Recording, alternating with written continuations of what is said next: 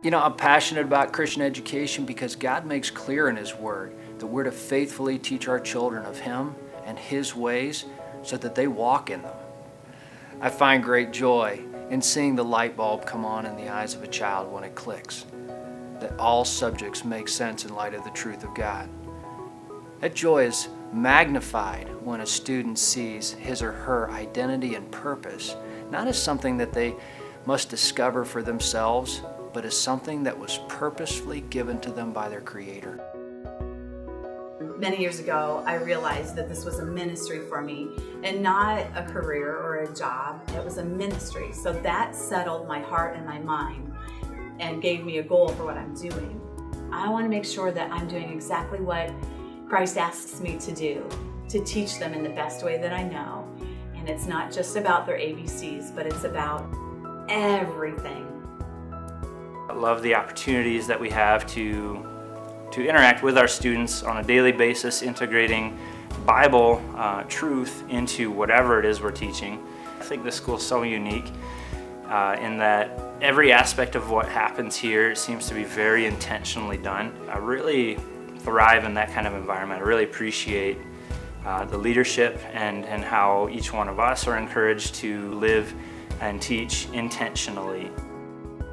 You know, most programs are about winning, and we like, I mean, you know, we're okay if we win, but that's not the point. Our point is to build character and to build friendships and, and to teach the students at every opportunity we have. And, and sports is a good way to help these students see every part of their life can bring glory to God.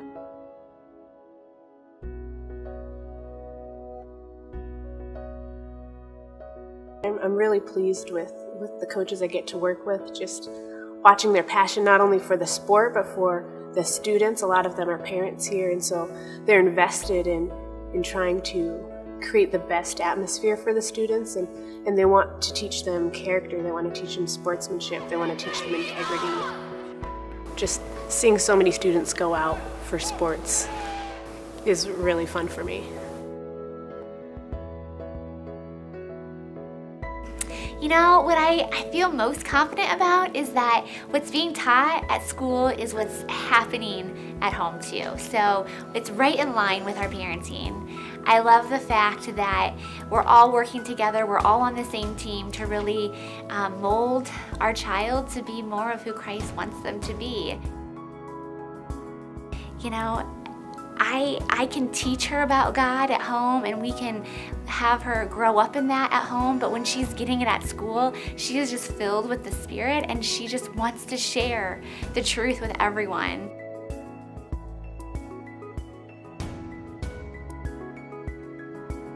One of the most important things to really just pass on to the kids is that music is a gift from God and that we can offer that up to Him as worship. I try to instill in the kids that even when we're doing silly music and dancing silly and things like that, that make a joyful noise unto the Lord.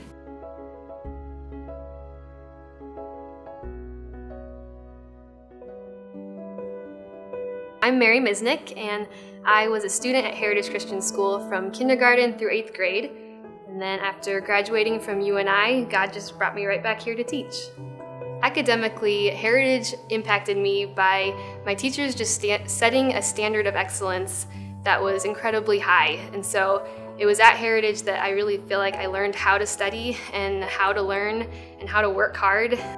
And I didn't fully realize how impacted I was by going here to school for nine years until I was taken out of this environment and my beliefs were finally challenged. And it was during that time that I realized I could confidently set the Bible as my standard and as my reference point through which I would evaluate everything else that I was learning and everything else I was experiencing. There's something so beautiful about being able to explicitly teach truth from God's Word. And I really wanted to freely be able to do that and to be able to tell students how precious and valuable they are as God's image bearers in many ways, I think that I spend more time with these students at this point in my life than with anyone else. And so naturally, it becomes my prayer that as I spend time with them and as they perhaps follow my example, that they would really be following the example of Christ. And that's only by God's grace. And I just pray that, that that's the case.